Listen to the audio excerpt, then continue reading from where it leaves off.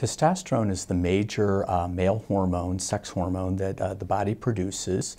Uh, it is something that gradually rises and then uh, increases at the point of puberty into adulthood, and it's very important for many functions, including maintaining a sense of well being, bone and muscle mass, uh, sexual function, and overall vitality and vigor of a gentleman. Typically, uh, testosterone levels will peak in puberty and then gradually start to drop after about age 30. With each passing decade, it will continue to decline. Because testosterone does tend to decline over the course of one's life, it often will be something that occurs more often with advancing age. That is, the older the gentleman is, the more likely we'll see low testosterone. However, however it can occur in any age. It's estimated around age 40 that up to 10% of men already are experiencing low testosterone. By age 70, that number is about 30%, and after age 80, it's actually over 50%. Sometimes it can be difficult for a patient to, to know that they have low testosterone. Uh, they might consider it just part of aging, feeling more tired, depressed, fatigued, but typical symptoms would be loss of stamina, weakness, lack of energy, difficulty with uh, libido, sexual function, symptoms like that, change in muscle mass.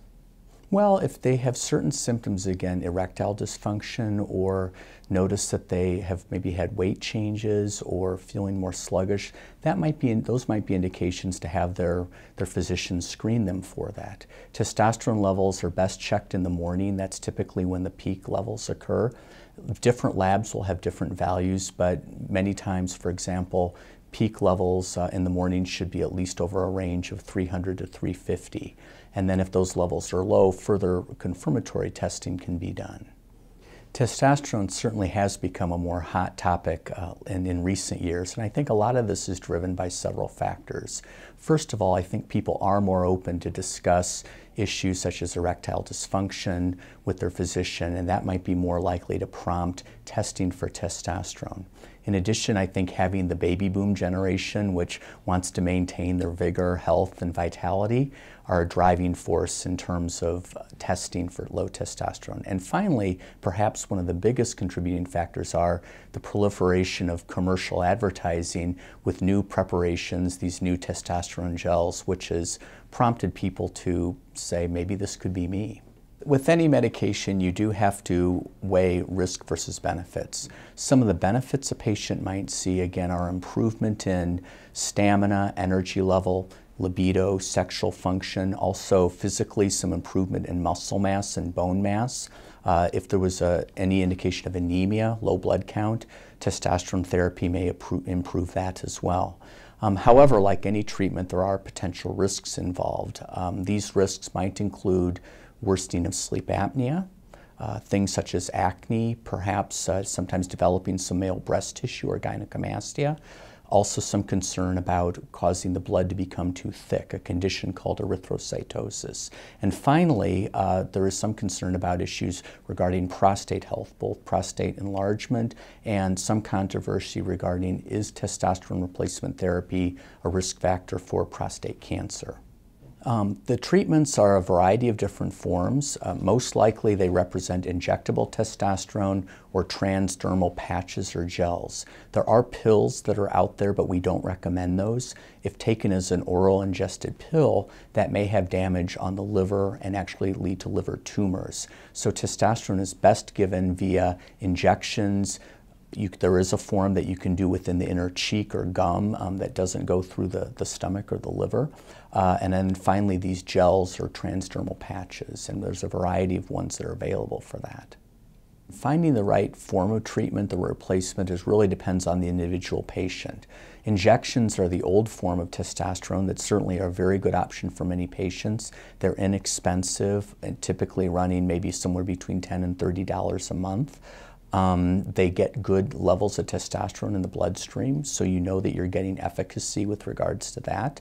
Testosterone injections can be given as an intramuscular injection as 100 milligrams once a week, 200 milligrams every two week, or 300 milligrams every three week is a typical dose.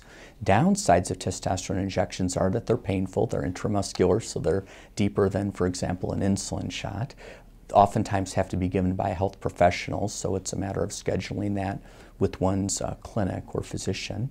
And then finally, there is a, this sort of roller coaster effect where you get these peak levels and then troughs. Sometimes they're not as advantageous as, as the gels or the transdermal sy systems, which lead to more uh, uh, basically um, stable levels of testosterone. And so one of the, the issues is when a man is found to have low testosterone, we have to figure out what is the cause of low testosterone.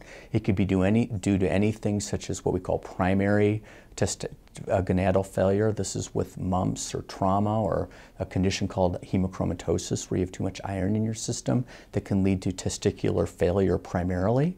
Um, more commonly, it will be due to a problem in the, the brain, an area called the hypothalamus or pituitary, whereby you're lacking hormones that are stimulating normal testosterone secretion. And sometimes that can be as simple as, as stress or sleep apnea. Sometimes a matter of losing weight, exercising more, getting enough sleep actually can help testosterone levels improve.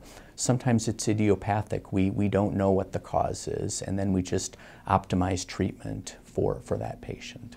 Actually, in those cases, the, the better treatment would be to replace those hypothalamic or pituitary hormones. And we will do this when a, a, gentleman has low testosterone and also infertility because of a pituitary problem. In that case, you give injectable analogs of FSH and LH. These are very expensive, um, they're very cumbersome for doing for just routine replacements. So we really only use those medicines when a person's actively de desiring fertility for time until you actually you know, build up sufficient sperm count for achieving fertility. And that may be typically somewhere between three and nine months, sometimes longer on that. What is the normal level? Again, I said earlier that physiologically testosterone levels naturally do decline. Is the treatment that you do for an 80 year old same as what you would do, for example, a 40 or 50 year old?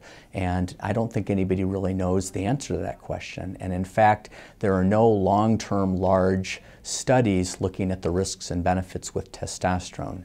We know from smaller studies what the benefits are, again, improved sense of well-being, muscle mass, bone mass, uh, sexual function. Uh, we know that some of the downsides include worsening sleep apnea, gynecomastia, acne, uh, thickening the blood, erythrocytosis, and possibly some prostate issues.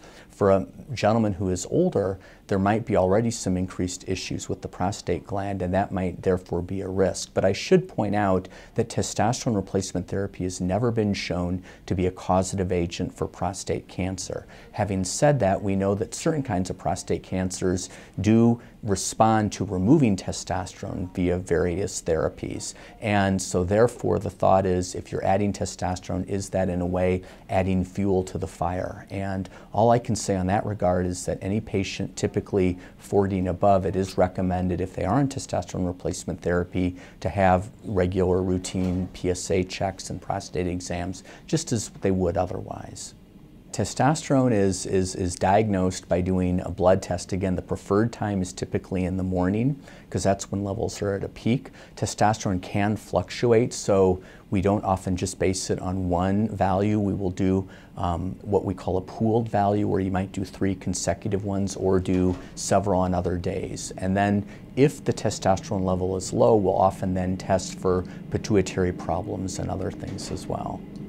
Testosterone via injection or gel is, is synthetically made, but is an analog of what, what humans produce themselves. It works effectively and, and it will achieve the desired range. Uh, target ranges are typically uh, somewhere between about 400 and 800 uh, as a value for testosterone. Illness can certainly cause low testosterone. Uh, stress can be a factor. As I said, untreated sleep apnea sometimes is something that can do it beyond something more serious, such as a pituitary lesion or um, iron overload or something that causes problems. But it will go up and down. It does tend to, it does tend to, to fluctuate. So typically, first low testosterone is taking a careful history, those symptoms that we mentioned, loss of uh, energy, loss of libido, erectile dysfunction. A physical exam is typically performed, including listening to heart, lungs, uh, checking the thyroid gland, checking the testicles for uh, low testosterone. Oftentimes there may be testicular atrophy or softening or, or shrinking over time.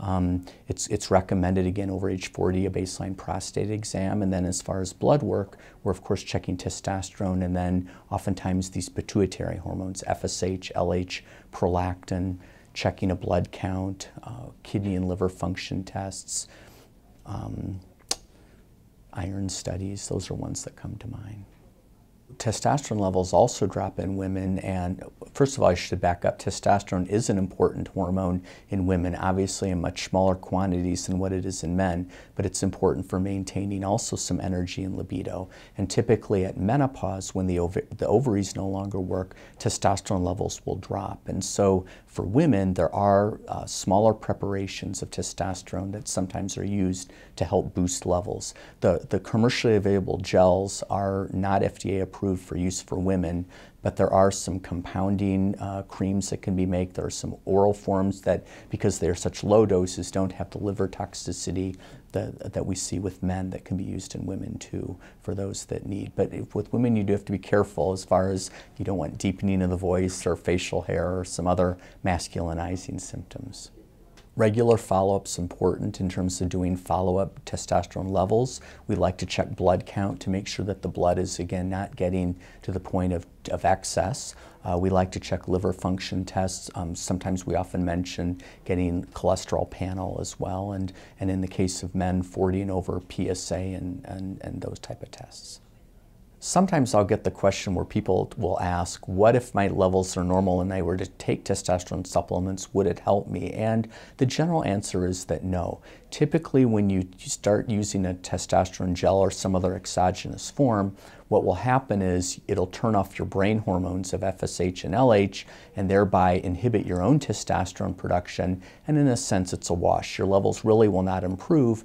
And in doing so, you may lead to testicular um, shrinkage as well as loss of fertility, decreased sperm count. And so it is not recommended to use or abuse testosterone replacement therapy if you don't need it. Likewise, what about using supraphysiologic doses? In other words, trying to get those doses of testosterone up higher beyond what is typically considered normal. In that case, it also there's more danger um, in terms of those potential side effects: erythrocytosis, the gynecomastia male, uh, breast development, testicular atrophy, loss of um, of fertility, more irritability, more uh, acne, things like that. So again taking testosterone or using it in excess is not recommended. It certainly is something that is, can be used and abused in terms of uh, an anabolic steroid type type component. Uh, that's again where some of the oral ones, uh, uh, medroxytestosterone, uh, for example, are ones that are felt to be very unsafe as they can cause liver damage and toxicity. Um, any injectable or patch or gel form too, again in excess is, is felt to be dangerous. And sometimes you can lead to permanent damage by using these or abusing these.